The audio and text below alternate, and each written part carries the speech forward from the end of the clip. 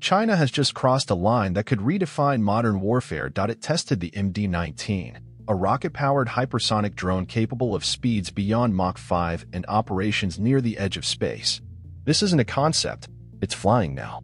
Able to launch mid-air, evade radar, and carry out missions autonomously, the MD-19 is designed to outmaneuver satellites and overwhelm defenses. In this video, we'll explore the technology behind it and how it fits into China's broader military strategy.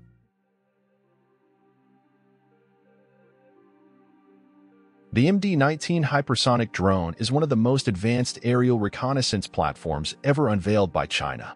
Building upon the MD-22 testbed revealed at Zhuhai Airshow 2022, this new drone showcases revolutionary features in both design and performance. The drone measures between 8 and 11 meters in length and is estimated to be capable of flying above Mach 5, placing it squarely in the hypersonic category. At these speeds, it becomes nearly invulnerable to interception by current-generation air defense systems. Its high-altitude capabilities allow it to operate in what's referred to as near space, well above conventional aircraft, but below orbital satellites, giving it a strategic sweet spot for stealthy surveillance. From a design perspective, the MD-19 shares several traits with its predecessor, the MD-22. It features a wedge-shaped fuselage that minimizes aerodynamic drag, delta wings to generate lift and maintain stability at high speeds, and canted V-tail fins, a stealth feature also seen in modern fighter jets. However, what truly sets it apart is the absence of air intakes, strongly implying the use of liquid-fueled rocket propulsion instead of jet engines. This gives it explosive takeoff velocity and performance at altitudes jet engines cannot reach. The MD-19 is designed for air launch, meaning it can be deployed mid-flight from carrier platforms like the TB-001 twin-tailed Scorpion or China's H-6M strategic bomber. Air-launching drones allows them to begin missions at altitude, conserving fuel and bypassing surface-based tracking systems.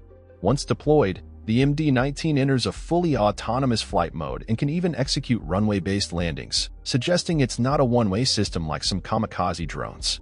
The drone also features tricycle-style landing gear, including a twin-wheel nose strut, enabling conventional recovery and reuse. This is crucial. China isn't just building expendable tech, but creating sustainable platforms for iterative missions. Recent footage released by Chinese media showed a successful launch and recovery sequence, offering visual confirmation that the MD-19 is more than a prototype. It's a functional hypersonic asset.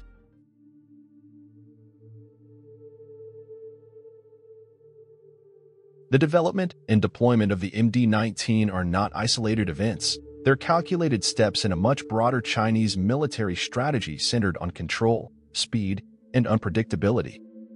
This drone fits squarely into the Eastern Theater Command, which oversees sensitive zones like the Taiwan Strait, the East China Sea, and parts of the South China Sea. These are areas where tensions with regional powers, Taiwan, Japan, and the United States, are already high. Strategically, the MD-19 operates in a space traditionally dominated by satellites or manned aircraft. However, satellites are predictable. Their fixed orbital paths make them vulnerable in any prolonged conflict, as adversaries know when and where they will appear. On the other hand, manned surveillance aircraft are costly and risky, especially when flying over hostile territory. That's where the MD-19 changes the game.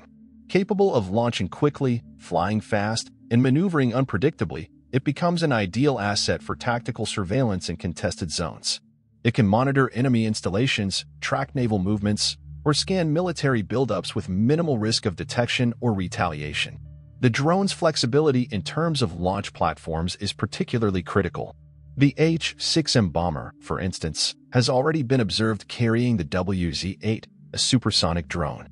Now, with MD-19 entering the mix, China effectively builds a layered reconnaissance system. The H-6M could launch multiple drone types, each suited for different speeds, altitudes, and mission types, within a single sortie. This kind of aerial diversity increases operational complexity for any potential adversary. China's broader military doctrine emphasizes the reconnaissance strike complex, a concept that focuses on using fast, stealthy platforms to detect and target enemies in real time. The MD-19 is a perfect fit. It can gather high-resolution imagery, deliver telemetry data to command centers, and potentially serve as a targeting node for missile systems or bombers.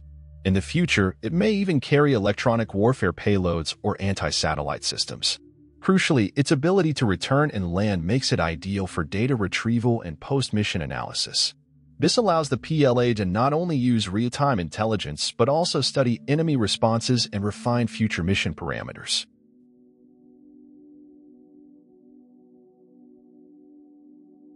When a drone like the MD-19 becomes operational, it doesn't just change how China fights. It changes how everyone prepares.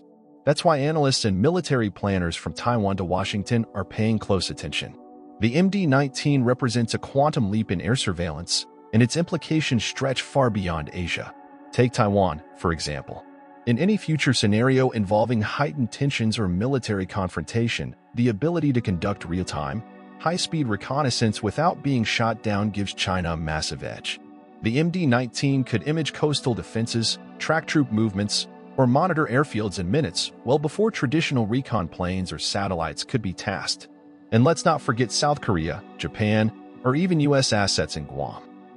The speed and maneuverability of the MD-19 make it extremely hard to detect or intercept.